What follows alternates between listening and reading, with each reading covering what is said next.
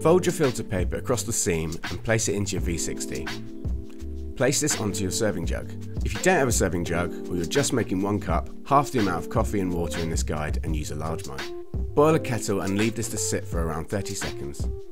Soak your filter paper wet with warm water to get rid of any papery flavours and then discard this water. Using your scales, measure out 30 grams of medium grind coffee. If you don't have scales, you can use two V60 scoops and then put the coffee in your filter. Make a little well in your ground coffee. This makes sure the water hits all of the coffee evenly. Take your kettle and pour 60 millilitres, which weighs 60 grams of water over your coffee grounds. Leave them for 45 seconds and watch as they bloom. Pour 240 millilitres of water onto your coffee grounds, making overlapping circles with the water. Try to pour from about 2 to 3 inches above the coffee. This will maximise the effect of the water hitting the coffee.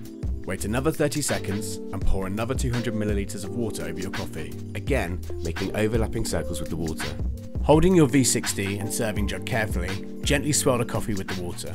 Then take a spoon and stir once clockwise and then once anti-clockwise. This helps to get the coffee even at the bottom of the filter. And make sure you taste the very best. Allow the rest of the liquid coffee to draw down into your jug. Discard your filter and grounds and enjoy your coffee.